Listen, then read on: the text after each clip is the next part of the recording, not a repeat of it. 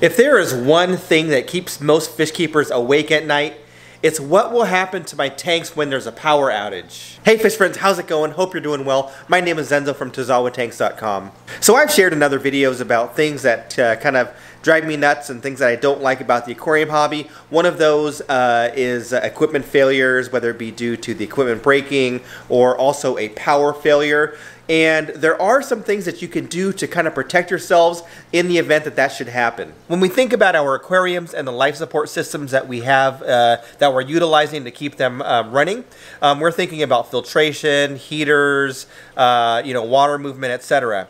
In the event of a power outage, a lot of those things are not really necessary. The most important thing is to make sure that you continue to have oxygen in the tank. What you don't want to happen during a power outage is for everything to kind of go still and not to have any type of surface agitation. The most important thing when the power goes out is to ensure that you have some way of moving water in your aquarium and uh, that's going to at least make sure that the fish have oxygen so that they're not going to suffocate. Having the filtration go down for a few hours, having the heaters go down for a few hours, it's not going to be the end of the world, but if you are, you know, a few to several hours down the road without any movement in the tank, you could have some challenges. Now, if you're completely in a pinch, you know, you can manually do it so you can get like a, a ladle and kind of stir the water every few minutes. Um, you can get a bucket and drain some water out of the tank and pour it back into the tank and kind of do that once an hour or so to kind of mix the water up and get some oxygen in there.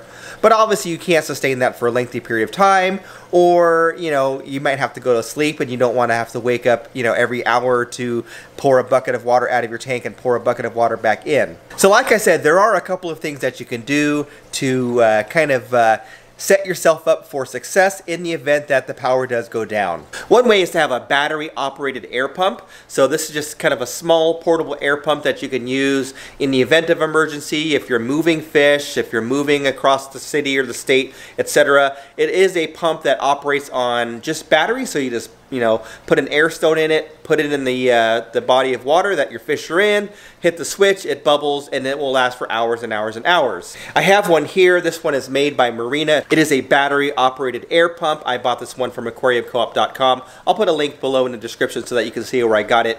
Um, the kit does come complete with everything that you need except for the battery. So it has a pump, it has the airline tubing, it has uh, the air stone. So it comes as a complete kit so you can actually actually just start using it right away.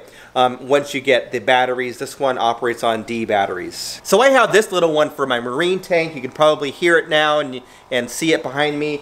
Um, and uh, this little uh, reef tank here um, in the event of a power outage, I want to make sure that I continue to have uh, water circulating in the tank. So I bought this pump specifically for this tank. And I've also instructed um, my family on how to use it. So if I'm out of town, if I'm traveling, if I'm not home, they know how to uh, put the air stone in there, hit the switch, and know that this tank will be fine for several hours. Obviously, when the power comes back on, um, they can turn it off. Being that I'm in California, we don't have a lot of power outages, but they do happen from time to time. Uh, we recently had one um, not too long ago that lasted for about an hour and a half or so, and it really kind of got me thinking about what I need to do to ensure that my systems continue to operate if something does happen. The only other little extra thing that I did with this pump is I did put a one-way valve on it. I think those one-way valves are like $1.99. They're also available from Aquarium Co-op. So um, that is a good way to ensure that when um, the pump is off, that water doesn't get siphoned back up through the tube and damage and ruin your pump. So if you're running any kind of air pump um, that runs on regular airline tubing, my recommendation is to put one of those one-way valves on there because it really will save you uh, in the event of any kind of uh, failure. It's going to save your equipment and a $1.99 piece of plastic is going to keep you from ruining one of your pumps. Okay, so that seems pretty simple. You know, if you just have one or two uh, tanks in your home, you can easily get those. Uh, I forgot the price, but they're really inexpensive. Um, so you can, you know, purchase one of those battery pumps and just have it on hand and make, make sure you have extra batteries.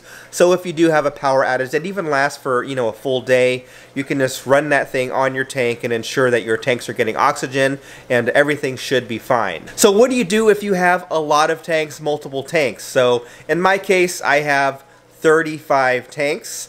I'm not going to buy 35 air pumps and have to have 70 D batteries on hand to run around and have all of those attached to my tank. So um, there are some other things that you can do. Um, you might have heard some of the battery backup systems that are available. Um, I think that Ecotech or one of those companies makes one. Um, it's kind of expensive, and uh, I, am not sure if it works for all equipment. I know it works with their own kind of wave makers or whatever. But anyway, um, having some type of battery backup system besides just a battery operated air pump is an option. Um, I actually did that for these two tanks right here. So this tank behind me is my Tanganyikan tank, and this is my Malawi tank. You've seen this before in other videos. And what I did is I took just a regular air pump that has uh, two outlets. I connected air tubing. I put one-way valves on um, both tubes. So a one-way valve for this tank and a one-way valve for that tank. I put a never clog air stone on there.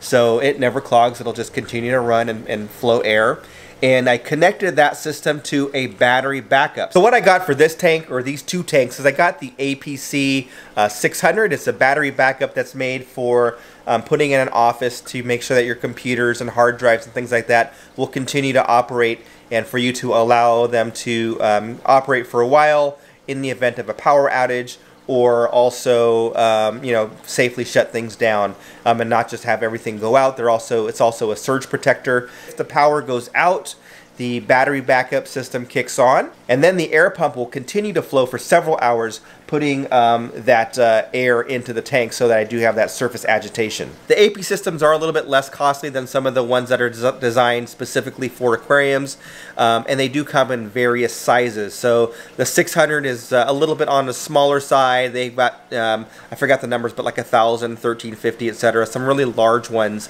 Um, I'm going to end up buying one of the larger ones, but it is like $300. I'm going to buy a larger one for the downstairs air pump because I have that central air pump downstairs.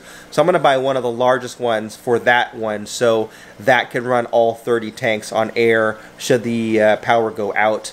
Um, as far as runtime, so um, I did the calculation. If you were using like a 100 watt um, uh, piece of equipment, the that piece of equipment would continue to operate for 23 minutes on the APC system that I have right here. So that's not a very long time. So you're not going to want to put a heater or anything like that on that. So if you had a 100 watt heater, essentially that heater is only going to last for about 23 minutes before the battery runs out of juice. But an air pump runs a lot less energy. So the one that I'm running on right now is, I think it's uh, 3.4 or 2.6. I forgot what it was, but it's really, really on the low end. Um, I did a calculation, and it's going to run for several hours um, based on the um, runtime. I did a calculation on the runtime and the wattage compared to the original 100 watt with the 23 minutes. Um, so I have a lot of time here, so in the event that the power does go out, if the power's out for four or five hours, I'll continue to get air in there. And uh, again, here in California, we don't get those lengthy power outages. So you might be saying, okay, that's great. You can use a battery pump to, uh, you know, run air to your tank for a few hours if you just have one or two tanks. Or you can do the battery backup system so it's automated. So if you're not home, it kicks on automatically and runs air for a few hours. Well, what if you have a larger you know tank if you have multiple tanks and uh, or what if the power is going to be out for a long time? What do you do then? Well i did talk about uh, me getting a larger backup battery for this system because it's all um, run on uh, one central pump. So i will be putting a larger battery just for the pump. I'm not concerned about heat. I'm not concerned about anything else only the air. Fortunately most of these tanks have sponge filters. In fact well, they all have sponge filters, so um, there will be some filtration in addition to surface agitation. But getting to the point, if you do have a lot of tanks and if it's going to be a long time, you're going to want to get a generator. So I happen to have a generator. I actually purchased it during um, that power outage that I mentioned earlier. I think I spent around $700 on the on the generator. So, you know, it's not inexpensive. I would say that it might be a little bit of overkill for some people. But again, for me, I have 35 aquariums. I'm breeding fish. I've got some fish that I want to ensure remain safe and unharmed in the event of a lengthy power outage. So I want to make sure that I can care for them if something were to happen. So for me, it made sense to invest in a uh, generator that would be able to supply power for an indefinite amount of time all I need to do is just make sure I have enough gasoline on hand and uh, take care of uh, refilling the generator so that I have a continual power supply. So basically, I will be covered in a short power outage with the battery backup systems. I will get a couple more small ones. Um, I think I'm, I'm going to eventually get one for the little nano reef tank, um, just like a really small one, and uh, also uh, for the planted tank. And then again, I'm going to get that large one for this system down here. I do have the generator, so uh, I do have that option as well. So again, if, if I'm home or you know if my wife is home, they can uh, we can just turn on the generator you know, stick the exhaust out the garage door, run some long extension cords to the pumps, and uh, we should be good to go. So there you have it, just uh, a few tips on how to uh, weather the storm. It's kind of wintertime right now, especially for some of you guys in some really cold climates. Uh, you might have more frequent power outages. Hopefully you have some type of system. You have a generator, you have backup batteries, you have battery operated air pumps, something to just make sure that you have a plan to take care of your wet pets. That's all I had for now. Thanks for watching. We'll catch you on the next one.